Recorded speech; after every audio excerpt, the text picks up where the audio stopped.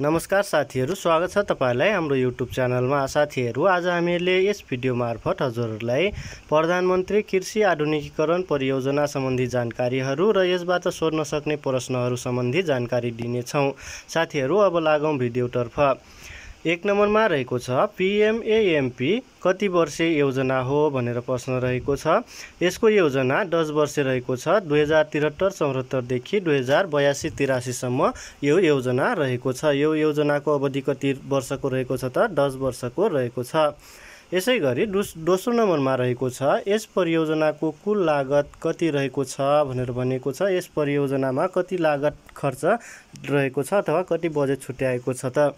एक खर्ब तिस अर्ब चौहत्तर करोड बिस लाख रुपियाँ यसको कुल लागत रहेको छ। कसको? पिएमएएमपीको प्रधानमन्त्री कृषि आधुनिकीकरण परियोजनाको कुल लागत कति रहेको छ त? एक खर्ब तिस अर्ब चौहत्तर करोड बिस लाख रहेको छ। यसै गरी तेस्रो नम्बरमा रहेको छ नेपाल सरकारको आफ्नै लगानीमा सञ्चालन भएको पहिलो कृषि योजना कुन हो भनेर भन् भनेको छ। नेपाल सरकारले पहिलो लगानीमा आफ्नो लगानीमा सबभन्दा पहिले सञ्चालन गरिएको कृषि योजना कुन हो त? प्रधानमन्त्री कृषि आधुनिकीकरण परियोजना हो। यो पिएमएएमपी चाहिँ नेपाल सरकारको आफ्नै लगानीमा सबभन्दा सुरुमा सञ्चालन भएको एउटा प्रोजेक्ट हो।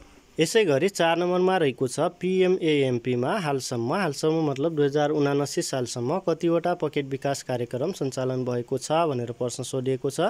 हालसम्म दुई हजार उनासी सालसम्म कतिवटा पकेट विकास कार्यक्रम सञ्चालन भएको छ त सात हजार छ सय सन्ताउन्नवटा पकेट विकास कार्यक्रम सञ्चालन भएको छ र यस परियोजनाको आवधिक लक्ष्य कति रहेको छ त पन्ध्र हजार पुर्याउने लक्ष्य रहेको छ के?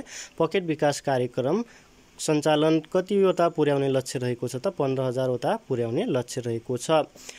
यसै गरी प्रश्न नम्बर पाँचमा रहेको छ पिएमएएमपीमा हालसम्म दुई हजार उनासी सालसम्म कतिवटा व्यावसायिक कृषि उत्पादन केन्द्र व्यावसायिक कृषि उत्पादन केन्द्रलाई बलक विकास कार्यक्रम पनि भन्ने गरिन्छ होइन? यहाँ प्रश्न के सोधिएको छ त पिएमएएमपीमा हालसम्म कतिवटा व्यावसायिक कृषि उत्पादन केन्द्र बलक विकास कार्यक्रम सञ्चालन भएको छ भनेर प्रश्न सोधिएको छ। हालसम्म कतिवटा सञ्चालन भएको छ त पन्ध्र सय सतासीवटा सञ्चालन भएको छ र यस परियोजनाको आवधिक लक्ष्य कति रहेको छ त? पन्ध्र सय पुर्याउने लक्ष्य रहेको छ। अब यहाँनिर प्रश्न यसरी पनि सोधिन सक्छ होइन? यस परियोजनाको आवधिक लक्ष्य यस परियोजनाको अन्त्यसम्म बलक विकास कार्यक्रम कतिवटा सञ्चालन गर्ने लक्ष्य रहेको छ भनेर प्रश्न सोध्यो भने कतिवटा लक्ष्य रहेको छ त? पन्ध्र सय पुर्याउने लक्ष्य रहेको छ। यसै गरी छ नम्बरमा रहेको छ पिएमएएमपीमा हालसम्म कतिवटा व्यावसायिक कृषि उत्पादन तथा प्रशोधन केन्द्र जोन विकास कार्यक्रम सञ्चालन भएको छ भनेर प्रश्न सोधिएको छ। यसको उत्तर हुन्छ हालसम्म कतिवटा जोन विकास कार्यक्रम सञ्चालन भएको छ त एक सय सतहत्तरवटा जोन विकास कार्यक्रम सञ्चालन भएको छ र यस परियोजनाको आवधिक लक्ष्य कति रहेको छ? तिन सय पुर्याउने लक्ष्य रहेको छ। तिन सय पुर्याउने लक्ष्यमा कतिवटा सञ्चालन भएको छ त एक सय सतहत्तरवटा सञ्चालन भएको छ। अब यहाँनिर प्रश्न यसरी पनि सोधिन सक्छ। यस परियोजनाको अन्त्यसम्म जोन विकास कार्यक्रम कतिवटा पुर्याउने लक्ष्य रहेको छ भनेर भन्यो भने कतिवटा पुर्याउने लक्ष्य रहेको छ तिन सयवटा पुर्याउने लक्ष्य रहेको छ।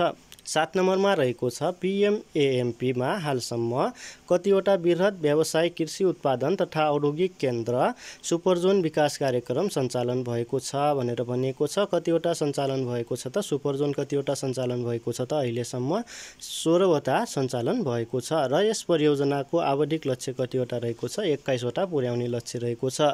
एक्काइसवटा पुर्याउने लक्ष्यमा कतिवटा अहिलेसम्म सञ्चालन भएको छ त सोह्रवटा सञ्चालन भएको छ। यसै गरी आठ नम्बरमा रहेको छ। पिएमएएमपीले निर्धारण गरेका राष्ट्रिय महत्त्वका बाली वस्तुहरू कतिवटा रहेका छन् भनेर प्रश्न सोधिएको छ। यस परियोजनाले पिएमएएमपीले निर्धारण गरेका राष्ट्रिय महत्त्वका बाली वस्तुहरू कतिवटा रहेका छन् पन्ध्रवटा रहेका छन्। पन्ध्रवटा बाली वस्तुहरूलाई यसले महत्त्वको रूपमा लिएको छ अथवा पन्ध्रवटा बाली वस्तुहरूमा यसले जोन विकास कार्यक्रम सुपर जोन विकास कार्यक्रम र पकेट बलक विकास कार्यक्रमहरू सञ्चालन गरेको छ। पन्ध्रवटा बाली वस्तुहरूमा ती पन्ध्रवटा बाली वस्तुहरू के के हुन् त?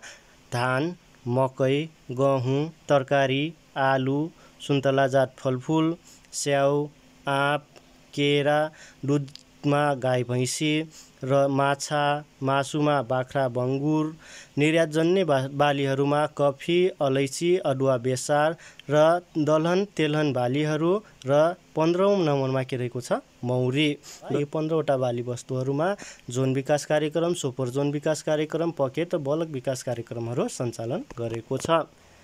यसै गरी नौ नम्बरमा रहेको छ विभिन्न जिल्लामा रहेको सुपर जोनहरू भनेर भनिएको छ।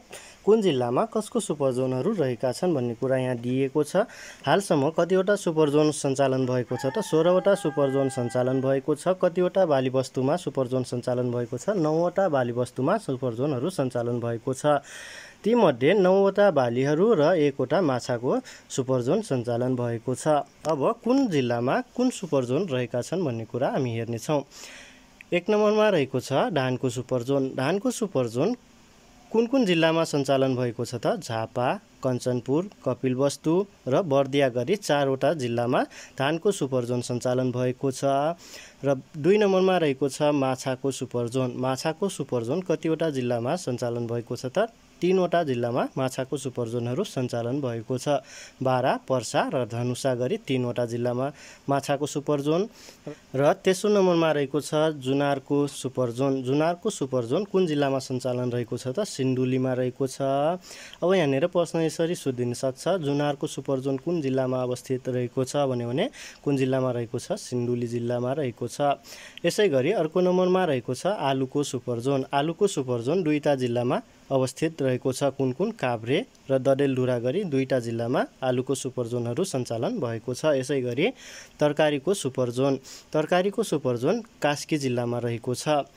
यसै गरी अर्को नम्बरमा रहेको छ सुन्तला जातको सुपर जोन सुन्तला जात फलफुलको सुपर जोन कुन जिल्लामा रहेको छ त? स्याङ्जा जिल्लामा रहेको छ। र अर्को नम्बरमा रहेको छ मकैको सुपर जोन मकैको सुपर जोन डाङमा अवस्थित रहेको छ। कफीको सुपर जोन गुल्मीमा गहुँको सुपर जोन कैलालीमा र स्याउको सुपर जोन जुम्लामा रहेको छ। अब यहाँनिर प्रश्न यसरी सोधिन सक्छ गहुँको सुपर जोन कुन जिल्लामा अवस्थित रहेको छ भन्यो भने कैलाली जिल्लामा अथवा स्याउको सुपर जोन कुन जिल्लामा अथवा मकैको सुपर जोन कुन जिल्लामा अवस्थित रहेको छ भनेर प्रश्न सोधिन सक्छ। साथीहरू आजको भिडियो यति नै। यो भिडियो कस्तो लाग्यो हजुरलाई आफ्नो प्रतिक्रिया दिनुहोला। यदि यो भिडियो मन परेमा भिडियोलाई लाइक सेयर च्यानललाई सब्सक्राइब गरिदिनु होला धन्यवाद।